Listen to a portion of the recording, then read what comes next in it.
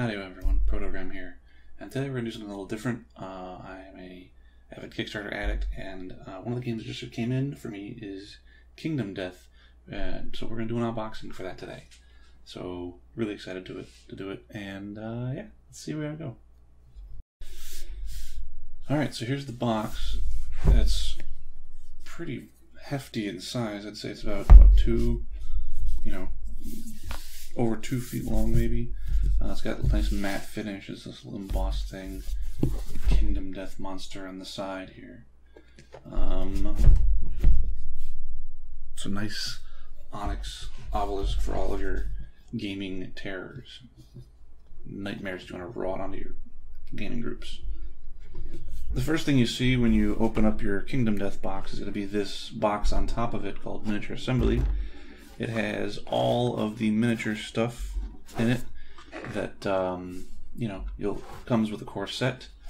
I'll open that right here,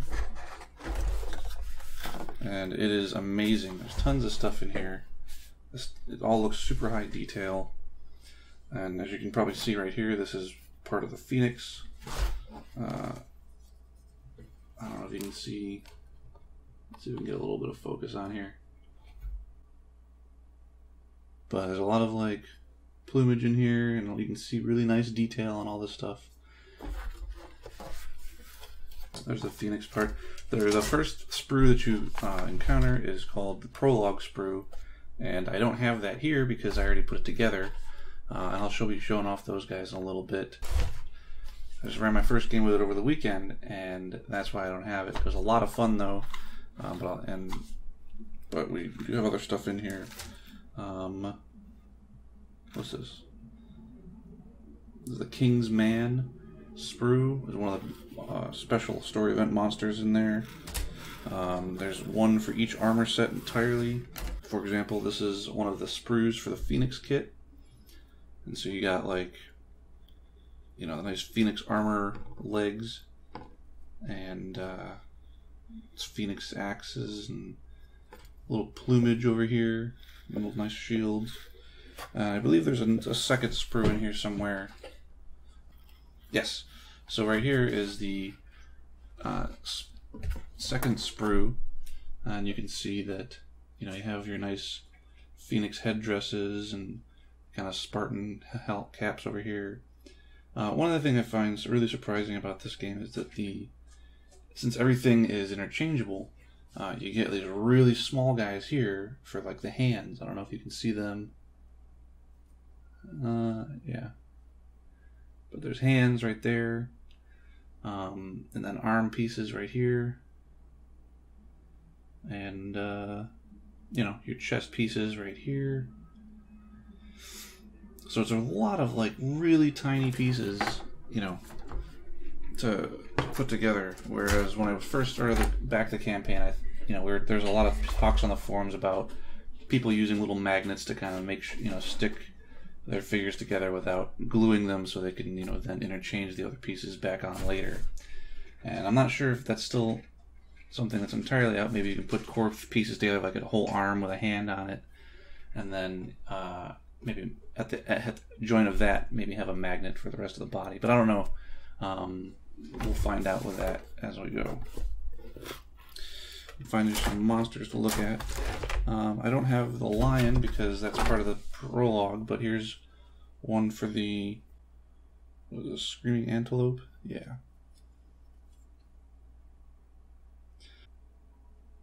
But yeah, there's the antelope right there. The other side of him there. He's got a big tuft of thing, tail there. Um, there's a couple of the secret things Poots put on here for us. I'm not really sure what those look like yet. Um, but I am having fun putting this all together. Uh, there's that guy. I'll, let's get a closer look at the... Oh, here's the Watcher. This is the watch. I think it's one of the Watcher sprues, or maybe this is the whole thing. I don't know.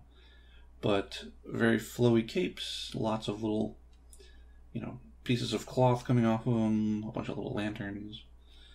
Um, there's his head right there. And I haven't really looked at it too in depth, but this Phoenix guy looks freaking huge to put together.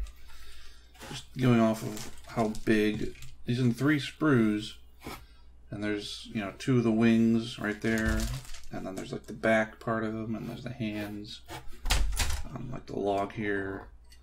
Uh, one thing that uh, a friend of mine already put him together and was commenting on the fact there's all these little hands right here. And, and these all go on the phoenix somewhere, on the wings or wherever, because you can kind of see some of them already on here. Uh, let's close that again to get a little bit of view on here. So some of the hands are already part of the the, uh, the pieces, but in other places, um, and I'll show you on the wing here. On the wing here, you have like these little divots along the edge where apparently some hands go. And there's enough of those little divots that, you know, there's there's a spot for every one of them. Here's some more. Here's another view of this one. There's some more divots in there. And uh, here's this massive, like, you know, crooked claws with long fingers. Um, the one thing I didn't notice about this before was the uh, the head. Yeah. So inside the mouth, which is right here, here's the mouth bits. Uh, there's actually like a head of a person in there, which I think that's what these are. And then that's, that's where the big, long, kind of mustachy things you saw uh, in the in the pictures were. And oh, here they are, right here. Yeah, so like there's these big, long, like things coming out of them that was coming off the mouth. It looked like the phoenix had its like super long mustache or whatever, but in fact there's a little bit of a old man head in there as well. And so I'm really interested to put this thing together, but it might be a little bit because I'm trying. I'm still working through the prologue stuff to paint that up and get that look good. But that's the course set uh, miniature assembly box that comes in the top of it. Uh, and now we'll get into the actual game parts of it.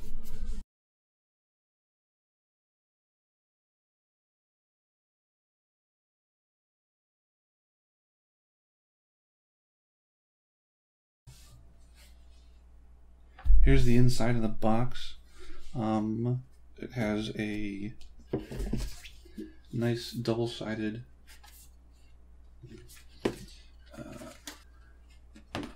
It has a nice settlement track, all the steps labeled on here from one to whatever.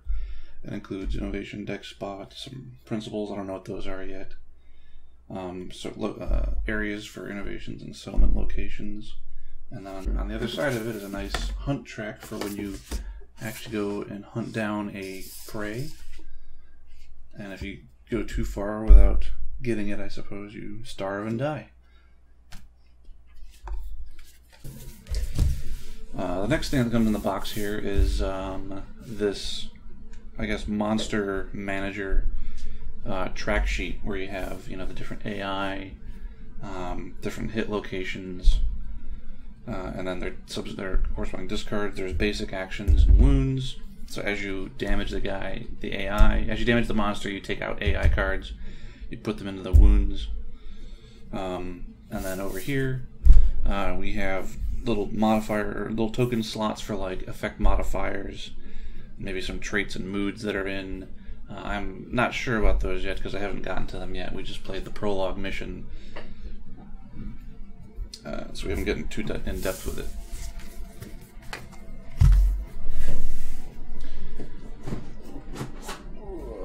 The next piece is in the box is this big game board.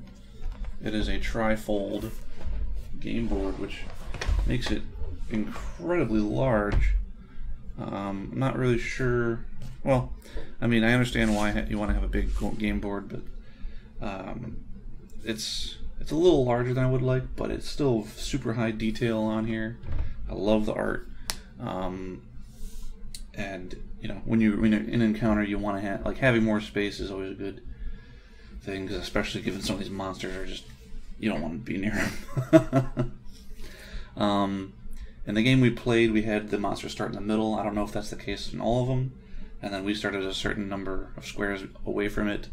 Um, the one I guess, mistake we made is we started all in different directions. So as soon as he went in one direction, we all had to waste a turn getting there. So it might be worthwhile to kind of, you know, start closer together when you're playing, um, just so you can get you know more hits in quicker. Um, it does have a nice on the edge here. I don't know if you can see it. There's like little, there's numbers along the top and then letters uh, down the side here. Um, so it goes A to P, probably for Poots, and then 1 to 22 over here. One of the first things you notice here is that there's a character sheet. It's got the name there, and uh, you got Hunt XP, you got some survival bonuses and stats and attributes, and then other fighting arts and special things over here. Um, pretty nice little, you know, concise little character sheet. Every character sheet gets one, or every survivor gets one as you make them, and so uh, you'll have several of these for your population as you start using your survivors. And you know they have the armor slots. This is the armor values that go in here, as well as like light or heavy injuries. If you start getting into these, that means you're probably in trouble. Um, and then it tells you what happens if you get heavy injuries in any of these slots here. So that's that. The next thing you come across is the uh, survival. The survival, or I'm sorry, the um, settlement name or settlement sheet. You have a pretty big um, sheet here with with lots of val- values and attributes, and it has lots of um, information. It comes with you can or a settlement sheet. Uh, you have settlement name, and then you get bonuses for naming it. I like that that you actually get bonuses for naming things. It makes people, you know, want to. It makes people engage a little bit more. I think. Uh, you have a death count over there in the corner here. Uh, some story events here for, you know, any milestone or big events that happen. Um, over here you have pretty much your timeline or your track record. You count things off uh, in lantern years. As you can see, you have pretty con- consistent events all the way up to uh, what's that, 25, and then uh, I think that's when the normal campaign ends, and you can choose to continue on after that if you want, and maybe even beyond this as well. Um, you have you know settlement locations over here. You have innovations, principles, and then you have a nice list of like possible monsters you can go get. And uh, there's that. That's the front. They actually have a back of the sheet as well. I'll show that here, where you actually get into. Um, you can have storage, where you can like store all your unused items right here. Um, you can have a you have a defeated monsters section where it talks about all of your monsters that you've taught. You know, you can show off all the monsters you defeated. That's kind of like a trophy section. And then at the bottom you have population. Oops. You have a population and uh, lost settlement track. I'm not sure what that does yet, but your population here is pretty important because as you um, as you play, some guys, as you can imagine, will die, and you'll need to be you'll need to make a new settler uh, or survivor for the next time you go out. Uh, so there's that. Next in the box, you come across these uh, gear sheets. There's four of them. Uh, there is variant rules for five and six players, but you only still have four of these sheets.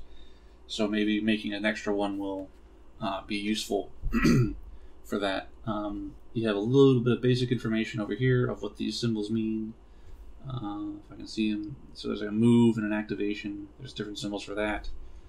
Um, you can spend stuff to do, like it tells you what to spend them on and do things. There's survival actions breakdown, which is really nice and useful. And then right here it shows you like your unarmed combat, which is like your always go to, if nothing else, uh, attack move.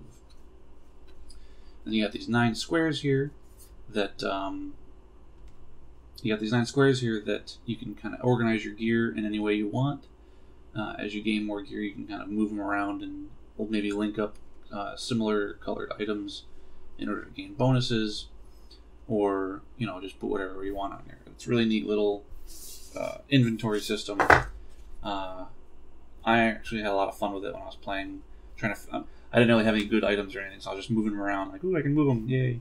But I like that you can use this whole space to move out around your items and, uh, you know, place your gear wherever you want. Uh, the next thing here is going to be a the, instruction book. Uh, you can see I got my bookmarks in here. I was playing over, I was playing the, the, the prologue campaign recently and had a lot of fun with it. Um, but uh, you know, you have oops. Um, goes over how to play, a lot of great art. It actually has a really neat little story at the beginning, um, with like little blurbs on each page. The art is really well done in this. I'm not going to show you guys the whole thing because it's worth reading and looking at and having a lot of like experiencing for yourself. Um, and then it gets you in the first story where it talks about how to set things up, assembling your starter, what miniatures you'll need to start with. Um, here's a run through of all the stuff. There's the tokens, which we'll get into in a little bit. Um, you know, setting up your initial stats and attributes. Uh, setting up the monster. It actually shows you the first story, White Lion here. It has a special attack deck uh, and hit locations you got to set up right here. And then here's the different cards you're going to be using as you play through the prologue. Um, and it shows you that you know board set up. The monster starts in the middle. You have to be six squares away, and that's cardinal directions. So you have to go one, two, three, four, five. You know, you can't do diagonal one, two, three, unfortunately. Which you know, people it can go either way. Uh, it gets into the final, like the actual showdown, and talks about like the monster's viewing arc and you know, scent and blind spots and all that fun stuff. Uh, this talks about more uh, into in effects of like moving and attacking, uh, different effects that get triggered, um, things like that. Sticky. Oops. Sticky over there. What's that doing? Uh, this talks about, you know, the survivor's turn. So the monster goes, then all the survivors go. The monster goes, all the stars go, so on. Uh, you can move, you can attack. When you hit shoot, when you hit the monster, you get the roll to see if you can crit on them or things like that. And then finally, once you, assuming that uh, you some of you make it, uh, you get a nice survivors are victorious page. Sorry, there's a glare. I'm trying to cover survivors are victorious page, and that gets into um, after here you start talking about how to make your first settlement. Uh, and that's I'm not going to get into that right now, but you have it. But it's a, it's a really neat little kind of walkthrough process. There's my sheet for my settlement there it's a nice bit of a walkthrough to kind of get you interest in, in introduced to the game, and then uh, after that initial section, it goes into um, all the rules again to kind of reiterate. Here's this rule. Here's this rule. Here's this rule, and so on. Um, it's actually a really well organized book. There's a couple of spots where we had to flip through uh, to different sections to kind of look at stuff, which I wasn't a huge, you know, it was a little bit annoying, but you know, it's I'm not I'm also new to it, so I don't know if there's just a better source that I can reference later on. But that's the art book, really well done, um, and it's got you know tons and tons of art and things to look at and awesome little encounters and you know I'm not going to show all of them off here, but super super high quality. Put in like a lot of effort was put in this book very clearly. Now we'll get into the uh, main box so this is the main box that comes with, uh, you know, the rest of it. The rest of the box that comes with the game. Uh, you have a ton of cards, of regular playing size cards, as well as these uh, quarter or like little tiny card bits um, right here, as well as tons of other stuff in here. Um, a lot of these cards are things like your monster bosses, like these big sections here, your monster or your boss monsters. Um, some of them, some other things are also uh, you know, starting or basic resources, strange resources, um, different traits, uh, vermin, you know, weapon masteries and things like that. And uh, yeah, and then you have, you know, like I said, you have a section for each of the bosses here. Um, so we'll, we'll show, I'll show off real quick what the white lion one is because that's the one we did.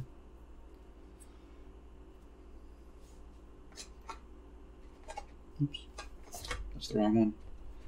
That was the antelope. I don't want that one. I want the white lion. The white lion. That's what I want. Totally for the whole time. Anyways, you get a pretty much a pretty hefty deck of things specific for the white lion. Uh, the first card. So the first card you have is a setup where it talks about here's the starting, here's the prologue white lion, and then level one, two, three.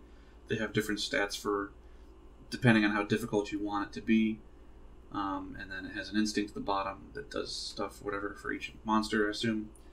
Uh, and then you have the basic action on the other side that says, you know, this is the mon- this is the basic thing the monster can do when in, you know when he can't do anything else.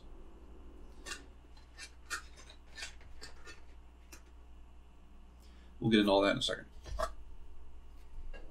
Uh, the big the big pile of cards has a um, it has a couple different card sections. You have the main one here is AI. Uh, it's pretty. You know, there's plenty of AI cards in here. It's in the middle of hit locations because I have it set up for something right now. But you have several AI cards that they that's the monsters that represents the monster's actions that he can do, uh, as well as his hit point total.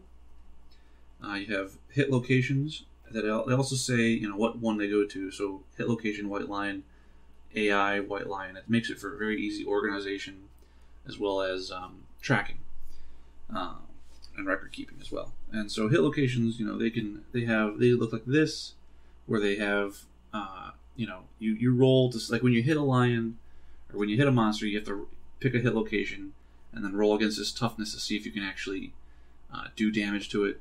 And so in this case, if you if you roll and you don't meet its toughness, there's a failure section here, and then there's usually a critical wound here. Now, uh, not every section has a failure section, so I guess that just means that nothing bad happens.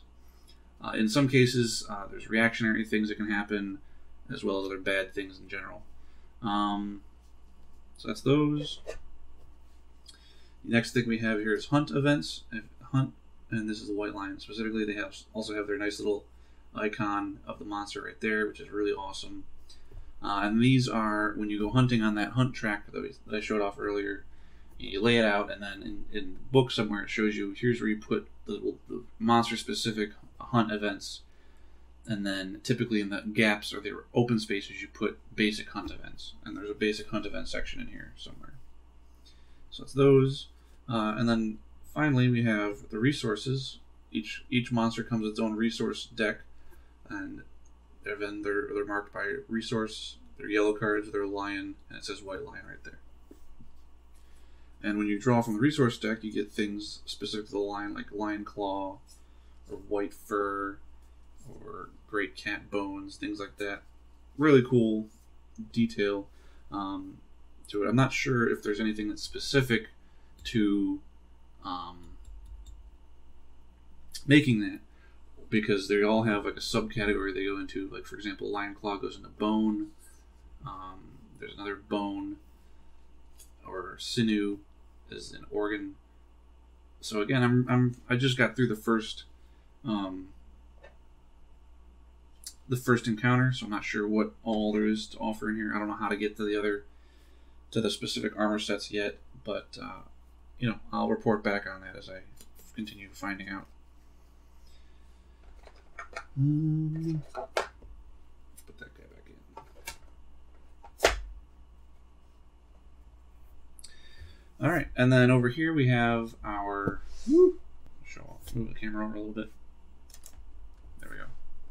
Over here we have our uh, gear cards. So every every every settlement location you come up come, can build, there's a different. Uh, it has its own gear that you can make. So, for example, uh, and they come with little separators, uh, and that's the same for. Um, that's the same for these guys as well. You get a stack of separators that talks about uh, that shows off uh, each of the little ones. So, for example, here's the screaming antelope, and it shows off all the AI cards it has, the hit locations, the resources, and the hunt events in there. And it's single side, but it's a really nice little kind of way to to um, to make sure you have everything, and it's great for record keeping. Uh, in this case, there's an organ grinder. We'll show off a little bit. And in the organ grinder, they have different items you can make, including monster grease. It has a little green thing here, which I'll get into in a second. Uh, there's a monster necklace, some lucky charms, uh, and then a dried, what is that? Acanthus? Whatever. Anyways, the nice thing about the item in this is that these go on your, when you make an item, you give it to Survivor, and it goes on that gear card. And um, if you can, if you see this green thing here, it has. Um, if you can find another item that has a green piece here and complete it, it counts as one completed green square. And you see at the bottom here that if you get three uh, completed green squares, you get an extra bonus. So that's kind of a nice way of doing items in this game. I'm really interested in exploring the different combinations of things that you can get as I progress. Again, I'm only on the I only finished the first uh, encounter, so I'm not sure what else is out there to offer. Um, but you see the lucky charm here is another one. Uh, it doesn't give you anything initially, but if you can complete two, uh, right here it says if you can complete two blue squares, you get another little bonus out of it, and it actually gives you, you know, starting points for the little bonus. The bonuses right there. And that's just that one. Uh, there's one for every settlement location in here, which is really impressive. And they go in these little, you can see them in these little like, uh, you know, slotted off uh, sections in this inlay here. Now, there's ones for these cards here, but I'm not using them because it has this section here that it really nicely fits um, the book so that's why I'm not using that right now. Uh, some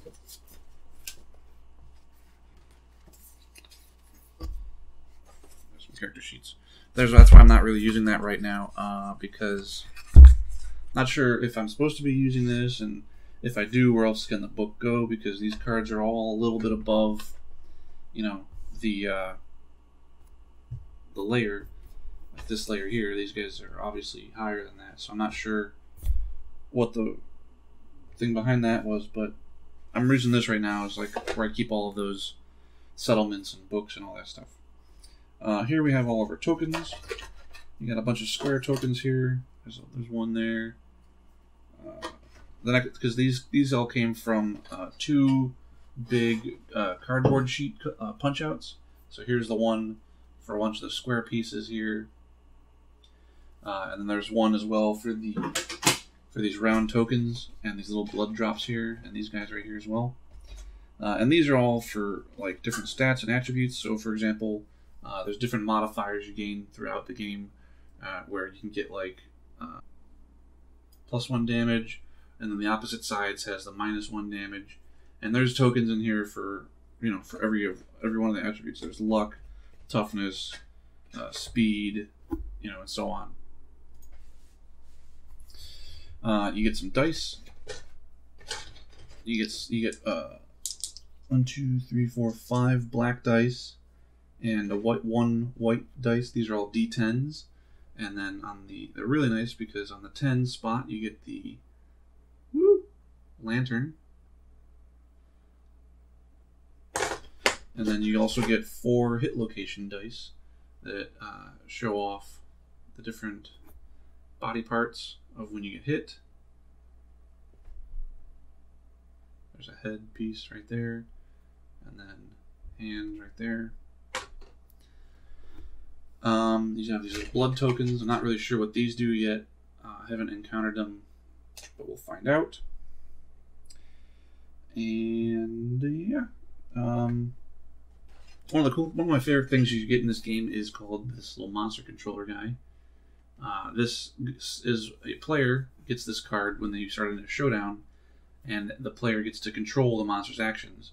And generally, you want that monster to do the best of its ability because it's otherwise, you know, why bother? You want the game to be tough. You want it to be challenging. You know, when you're a player, you get to do this. Why not make it as entertaining as possible? The nice, the nice incentive here is that if you attack yourself, your own character, you get a little bit of insanity here, and that's essentially that's like mental armor uh, because this fight that you're in is so outlandishly horrific that you would have to be insane to continue fighting. So it's a pretty nice little way of justifying that. Um, after your first showdown, you you, you make a settlement. You get to do uh, settlement events. I'm only going to show off the first day here, but you get a whole stack of them. Um, so uh, it looks like there's I don't know. Some of these I think are triggered. Some of these are, could be random. Um, but in general, for the first one, so yeah, this one is the first day. It's got a nice little bit of art up here. Um, it says settlement event, and that tells you kind of initial stuff that you go. You read from the top to the bottom. You know, it tells you that you you, you guys walk through the black, blah blah blah. You guys found you find, you know, you find this little lantern hoard. You know that you're safe there. Roll one d10 to find out how many people you know gather and then, of course, in my game, I rolled the minimum, which was one to three, so I only have six people plus my survivors. And then here it tells you start updating the death count, uh, and then to remove this first day settlement card from the game. Uh, the next thing we got here is the actual settlement locations. So when you first start your settlement, you get the Lantern Hoard settlement location. Uh, it's got a nice little awesome, again, art at the top the whole the whole the whole game is just strewn with really good looking art. Uh, and then it shows you what you can use to innovate. You can you can initially you can do innovations by the base location, and then down here it shows you what you can also build, uh, and shows you this little symbol right here. So you get this little guy right here called this Endeavor. Pretty much any returning survivors get Endeavor points, um, and you can use them to spend on different things. But in your first Lantern Hoard, your first mission successful, you get one per every returning survivor that you can use to build buildings or do an innovation. Uh, typically, the book recommends building these first three buildings uh, when you can as quickly as possible because they open up, you know, things like building armor, building those organ grinder items I showed you a little bit earlier, uh, and then also a bone smith where you can build some starting weapons.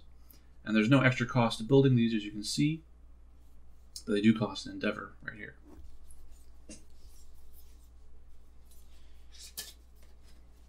Without getting into all of them, I'll show off the uh, Skinnery. So another Skinnery. This is a nice little piece of art up here. You got a little bit of look to what this looks like, and then um, you know you got you got a list of all the items this guy can make, as well as some utility items and things down here. Uh, it also shows you the cost of those items right here. So when you, as you complete monsters, you gain resources. Remember how I showed you the the lion fur, the lion claws, or whatever. Uh, some of those fall into the hide category here that you can make, uh, and you can then make the substitute the corresponding item. Uh, some items initially are locked, like the drum and the whip, because you need to have the specific uh, innovation for drums and ammonia uh, subsequently to unlock those items. And then if you wanted to make a leather worker, you can spend that endeavor to build it, but it also costs a little bit of extra resources over here to do. I like how that shows the items uh, right here and like the color, uh, the corresponding color squares, so you can kind of plan out what kind of, you know, character uh, gear you want to have, and maybe you want the rawhide vest, and then maybe so you can plan ahead to get the gloves and headband, or maybe you have another item that's a, a, a chess piece that the blue from the headband can lock into, you know, different planning, different things like that. Uh, so I like that. And these these are pretty nice little cards too. It's got they all mostly have a nice matte finish to them. They feel pretty high quality. Um, there's the thickness of them, so it's not super flimsy either. But I won't get into the other settlement events because I mean, you know, at the end of the day, play the game, have a lot of fun with it because it is a lot of fun. Um, finally, we have all of these little, more of these cardboard cutouts. There's some stone faces there. Um, there's varying sizes of them. So there's a big tree. Uh, you get a couple thin, long pillar-looking things. Uh, I haven't gotten far enough in the game to, to know what those do yet, but uh, I'll report back when I can to, to, to tell you.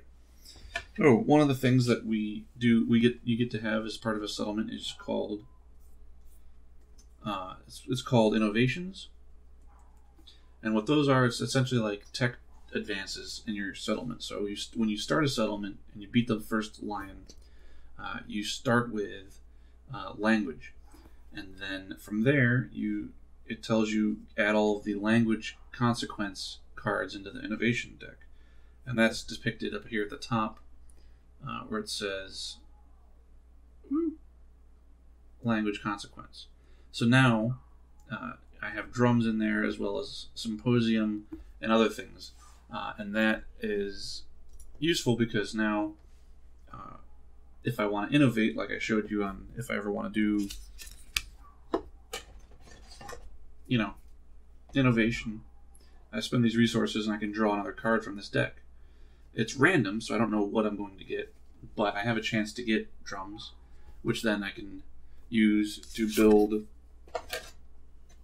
a rawhide drum on here if I get it.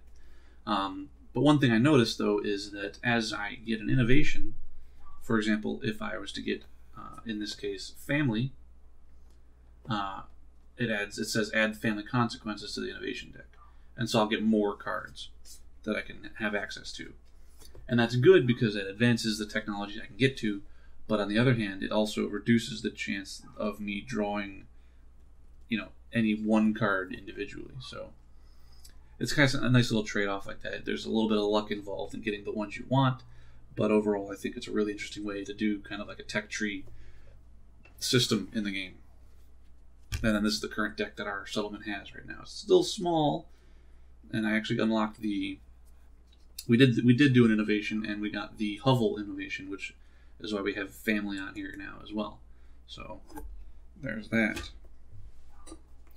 Uh, now we'll get into the miniatures and show off a little bit of those guys. Alright, so the first thing we'll go over is the first four starting survivors. As you can see here, they're lined up. I have them assembled in a rough shape. They're not primed or painted yet. Um, and I just have them kind of tacked to the...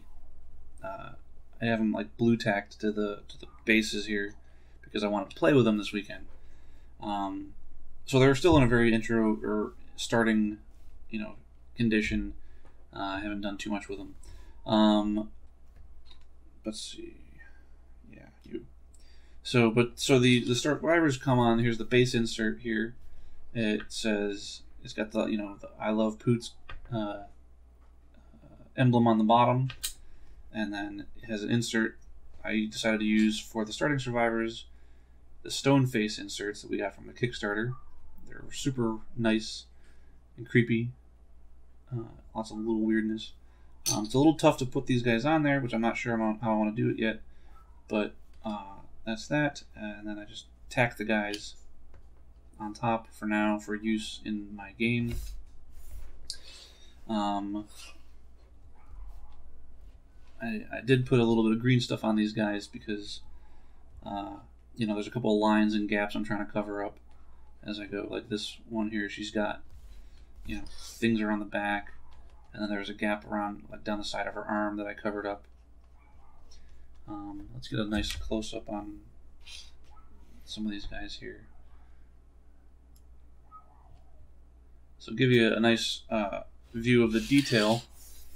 Uh, you know, here's here's the one survivor here. Uh, she's got, you know, you got the nice little hair bits on here, uh, and you got like even on the on the on the stone shard she's got, you can see like you know, like a little bit of the lines of the face on there. That's a really nice, super nice attention to detail that I really appreciate in these miniatures. Um, you know, super nice line, super crisp lines. Uh, there's a little bit of a seam on the side there, but that's not too big of a deal. But um, but yeah, and on this one specifically, so I had to add a lot, a little bit of um, green stuff right here because uh, the super the contact point for super glue was like super uh, super tiny that it was able to easily break off. So I wrapped a lot of I wrapped it around in green stuff to kind of reinforce the, the, the bond. There, uh, there's a little bit of a line on her shoulder that I because it just goes across straight like that. So I I smoothed that over. Um, but this was actually really I, I really like putting these models together. Let's show off this guy. He I think is one of the cleaner models. I didn't have to do much to. He just had that little bit around his shoulder here, uh, right here, and uh, you know he's got the you know same really nice detail all around. Nice, see nice muscular build on the back here. It's really, really, really like fine detail stuff. That's what I really liked about this project. Uh, is just the super nice detail that went into it. Um, all the little facial expressions and hair bits and all that stuff. Here's the other survivor female.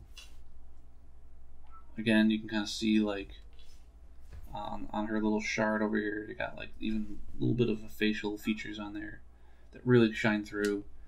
Um, this sash piece kind of went on separately, so that's why I have a little bit of green stuff up here at the top. It doesn't really look too great now, but I think once I prime it and paint it, it'll be pretty good looking. Uh, and if it doesn't look good, well, on, admittedly, this is uh, the first time I've used green stuff, so you know we'll see how it turns out. Uh, again, there's a little bit of detail on the front there, and then I think this is probably my favorite guy because he's just so caveman-like and whatever, just just very primal looking, just very angry as well. But uh, there's this guy. He's got a gun. He's got this little sash piece on the side here uh, that we had to glue on. It didn't really feel like it fit anywhere, but that's why I kind of just glued on the side. I put stuff and green stuff in there to kind of fill the gap, and then you know again reinforce that crease on the back to make it look a little bit more natural. Uh, let's see. There we go. A little bit of a focus bit. Um, but big hulking man guy. I love him. I named him Kronk in my game.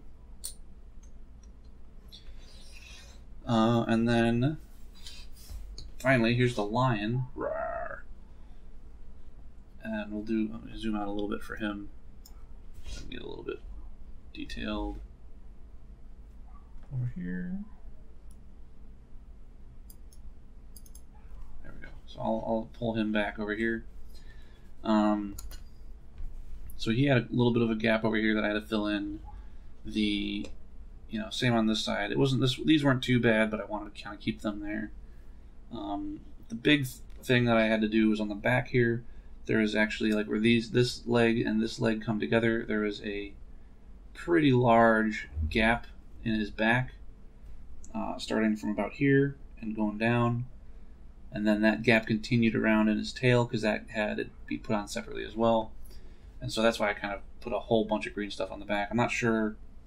I'm a little bit nervous how that'll turn out, but um, especially being the first time I used it. But we'll see. You know, it's my first time doing it, and uh, we'll figure it out. I'll just have some fun with it. Uh, again, there's a little bit of ridges in the front here, around the haunches that I had to fill in, and then there's a there's a ridge along the bottom that you can kind of see in there that I had to uh, fill in as well. But overall, pretty good model. The one that I think that aside from the the back gap here that seemed like it was a little too big for. Um, it seemed weird. I don't know if I was it was wrong or if it was just meant to be that way, but the, it was the biggest issue I had. But other than that, I had a little issue with the front where uh, the face top part and the bottom part go on separately. And if you're a Kickstarter backer, you'll know this if you put the line together. Um, but if I had put the top part on, the bottom part wouldn't go in that easily. And so I had to put the bottom piece in first. But if I did that, the top piece would go in, but there's a huge, there's a pretty big gap around the side, around the two sides of his face there and here.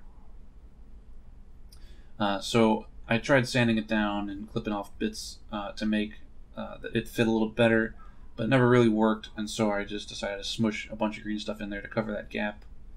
And, uh, you know, I think it came out all right because there's now no line between the jaw and, you know, on this side again, there's no line in the jaw, and it looks nice. It's a, his whole face is kind of been smoothed out down there. Um, but yeah, I mean, here's a nice. It, again, there's a lot of fine detail on this fur here. Uh, the face just looks, he looks like a Rottweiler, for God's sake. uh, there's a little bit of a ridge here, but I think that'll be fine when I paint it. And then, you know, he's got these big, meaty hands, and, uh, you know,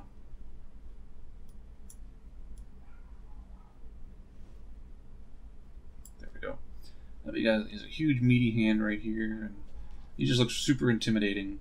Uh, now the one thing I'm not sure about is that his his hands and feet right here and back here. I don't know if you can see them. There's a line that goes through them. A little bit weird. I'm not sure. It seems like a weird way to do it, but I'm not too worried about it yet. Um, I don't know if you can see it a little bit better from this side. There's a line here, and then on that back foot there. Uh, this is the only arm that didn't that wasn't that was uh, all together, uh, and then these other ones had that had all the feet had to be glued on as well. So uh, yeah, I'm not sure what I think about them yet. I don't know how it'll come out in paint, but I'm I'm having a lot of fun with this guy. I'm gonna prime him up and try painting him pretty soon here. Well, thanks guys for watching. That's about all I have for now. Um, I, I'm having a lot of fun uh, playing the game as well as putting the minis together. Uh, I can't wait to see how, see how they progress, and I can't wait to see how long I can make it in settlement. Um, it's a really fun game. Uh, there's a couple. There's I'm already kind of seeing a couple places where I can make shortcuts to like make a cheat sheet, like an all-in-one, you know, condensed information.